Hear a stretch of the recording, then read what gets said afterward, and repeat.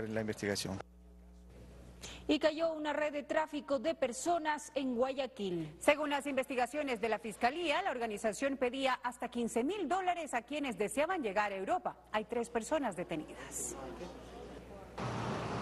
La organización señalada por el tráfico ilegal de personas funcionaba en el aeropuerto de Guayaquil José Joaquín de Olmedo. Se procedió a la detención de tres personas, sí, dos funcionarios públicos y una persona civil, eh, los cuales están involucrados en una red de tráfico ilegal de personas. Según las investigaciones, ellos alteraban la información en los pasaportes registrando movimientos migratorios falsos. En los pasaportes originales y esto les permita mayor facilidad de ingreso a los países extranjeros. Según la policía, el modo de operación empezaba en una mujer de civil que podía cambiar información de las personas en instituciones públicas. Luego ella contactaba a un policía quien confirmaba los datos y se los daban a una funcionaria de migración para facilitar la salida de personas del país. Cada persona coge un monto, por decir, eh, la persona que hizo poner el sello coge 800, la persona que ingresó al sistema coge 500 y así, o sea, se van distribuyendo el dinero.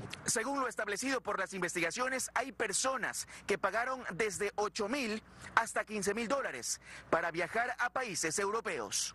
La Fiscalía continúa con el proceso investigativo y habla de la pena por el delito que se está investigando. Por tráfico ilícito de migrantes, cuya pena es, va de 7 a 10 años.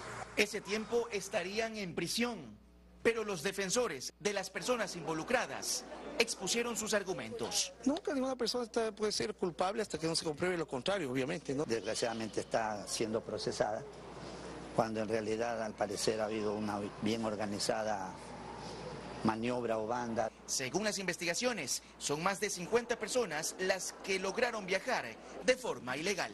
Emilio Zamora, Gama Noticias.